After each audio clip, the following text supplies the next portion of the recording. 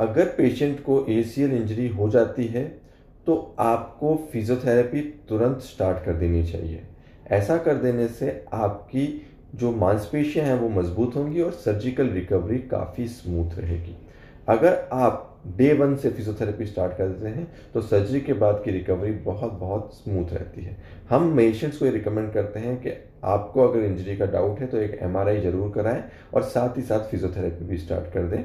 आमतौर पे एसीएल की सर्जरी हम चोट लगने के पाँच, सात दिन के अंदर, दस से पंद्रह दिन